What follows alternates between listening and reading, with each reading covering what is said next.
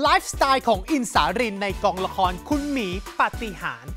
แอบแอบแอบให้ดูซีนนี้นี่นี่เป็นซีนที่เป็นความลับมาก สมมติเวลาเราให้กับคนรักให้ของขวัญก็เหมือนกับว่าเราล็อก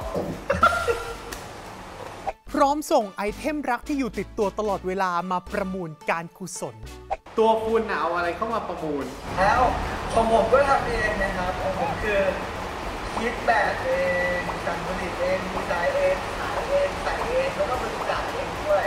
ไม่ ใช่ขนมใช่ไหมไม่ใช่มันคือสิ่งนี้ มาฟินพร้อมกันกับอินสารินใน 3 plus Review เสาร์ที่ 13 พฤศจิกายนนี้เวลา 6 โมงเย็นบนแอป 3 plus